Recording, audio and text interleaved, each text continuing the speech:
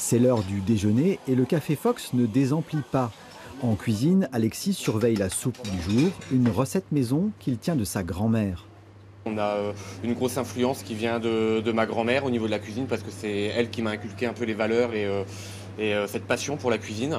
Et j'ai aussi des origines, des origines du sud de la France, donc du coup le petit côté provençal re- ressort également. En salle, Florian passe les dernières commandes.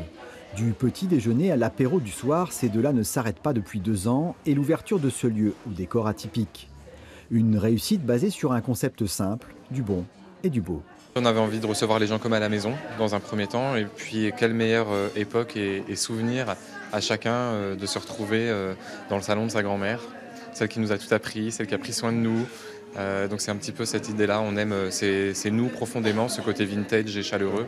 Bon, bah, très bien, en tout cas, la déco, euh, vraiment très très jolie. Ça change radicalement. Le centre Pompidou de Metz a sollicité le duo pour ce savoir-faire. L'espace café libéré à la veille de l'été par le chef Éric Maire, il a fallu trouver la perle rare pour satisfaire un large public. Le café, ça sert d'abord à nos visiteurs, parce qu'il faut leur offrir un, lieu de, restauration, mais également faire profiter de cette magnifique terrasse qui, je pense, est une des plus belles de Metz, à, l'ensemble du quartier de l'amphithéâtre qui est en plein développement, euh, aux personnes qui travaillent, mais aussi aux personnes qui, aux voyageurs de la gare de Metz qui est juste à côté.